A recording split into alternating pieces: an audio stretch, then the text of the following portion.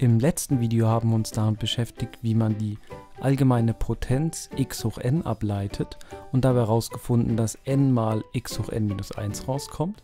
Und im heutigen Video soll es darum gehen, was passiert, wenn man jetzt diesen Funktionen vorne dran noch einen weiteren Faktor a gibt. De facto werden wir uns sogar anschauen, was ist selbst, wenn man irgendwelche Funktionen mal a nimmt und was da jetzt als Ableitung rauskommt. Wir beginnen wieder mit unserem a mal irgendwas, also irgendeine Funktion, a mal g von x.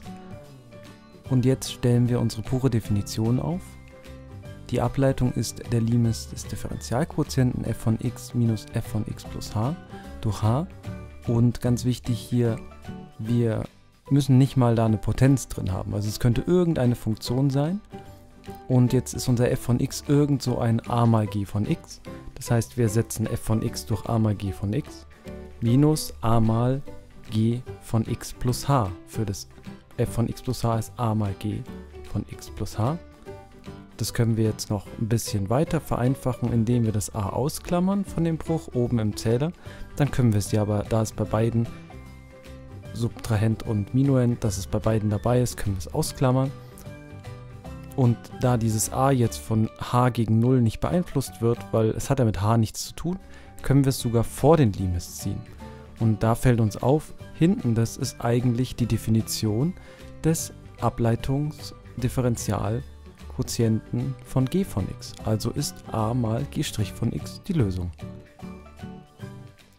Wir merken uns also, wenn f von x die Gestalt hat a mal g von x, dann ist die Ableitung davon a mal g' von x. Schauen wir uns das Ganze mal an einem Beispiel an, weil sonst ist es ja nur pure Theorie. Das heißt, wenn ich f von x gleich 7 mal x hoch 4 habe, dann ist die Ableitung, dass ich das a, also in dem Fall 7 vorne stehen lasse und hinten leite ich ab, wie wir das bisher kennen, also 4 mal x hoch 4 minus 1, wäre also in dem Fall 7 mal 4 x hoch 3 oder in letzter Konsequenz 7 mal 4, 28, x hoch 3. Ich hoffe, das Video hat euch ein bisschen weitergeholfen. Falls ja, lasst doch ein Like oder Abo da. Im nächsten Video schauen wir uns dann an, wie wir jetzt aus diesen Termen ganze Polynome zusammenbasteln. Also die Summenregel konkret werden wir uns da anschauen.